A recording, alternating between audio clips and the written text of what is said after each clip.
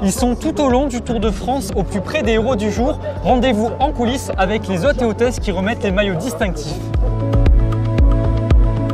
Bonjour, vous êtes du coup hôte et hôtesse protocolaire. Est-ce que vous pouvez nous expliquer euh, en quoi consiste votre rôle au quotidien euh, pendant les 21 étapes du Tour de France? Tout d'abord, notre journée commence euh, soit au village départ, soit du coup directement à l'arrivée pour faire de l'accueil invité au club du Tour où il y a quelques animations et on les laisse profiter justement de l'arrivée des coureurs, de la caravane.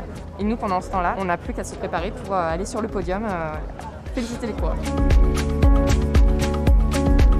Salut Valentine, salut Vincent. Dans un premier temps, on attend l'arrivée des coureurs et on a la chance de la voir généralement. Donc c'est un moment qui est, euh, qui est, assez cool. Une fois que les coureurs sont arrivés, il y a la cérémonie qui se met en place et donc le vainqueur de l'étape qui arrive derrière, qui positionne la médaille et nous, puis on, arrive sur, le podium, euh, tout simplement. Ce qui, est, assez impressionnant, c'est surtout euh, voir en fait la capacité d'effort qu'ils ont.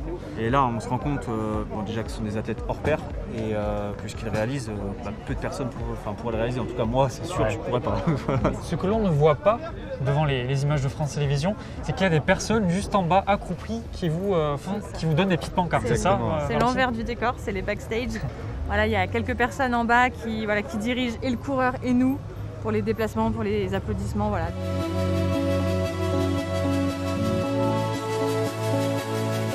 Alors toi Zoé, on m'a dit que ça faisait longtemps que tu faisais ça sur le Tour de France.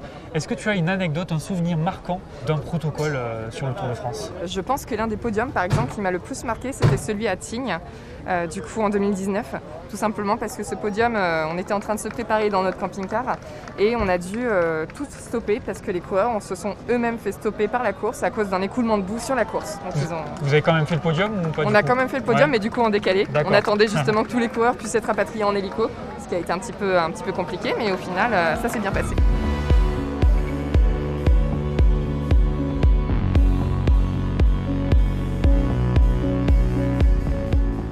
Est-ce que tu as un souvenir marquant avec un vainqueur d'étape sur le Tour de France, Valentine? Bah, Peut-être sur la première étape avec euh, Alaphilippe qui a quand même marqué euh, ce début de tour. Ils sont dans leur bulle mais il y a des petits échanges comme ça et il est très accessible, très sympa. Ouais. Depuis l'année dernière, il y a un hôte qui vient en plus de l'hôtesse. Ça se passe assez bien, même plutôt très bien. Ça a été bien perçu. C'est bien aussi euh, bah, voilà, de mélanger. Enfin, voilà, c'est sympa pour tout le monde. On fait une belle équipe.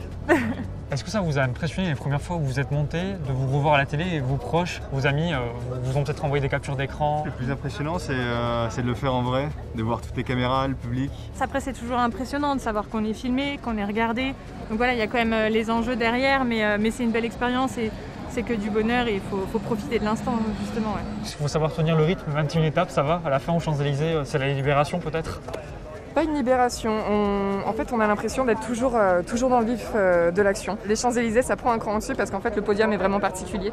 Il est beaucoup plus grand, il y a beaucoup plus de caméras qui sont devant nous. Donc au final, euh, c'est un petit stress supplémentaire, mais c'est pas forcément un soulagement parce qu'on a la nostalgie de cette fin de tour qui vient très rapidement. Merci de votre accueil et je vous dis à bientôt. À bientôt. Merci Guillaume. À bientôt. Merci, à bientôt.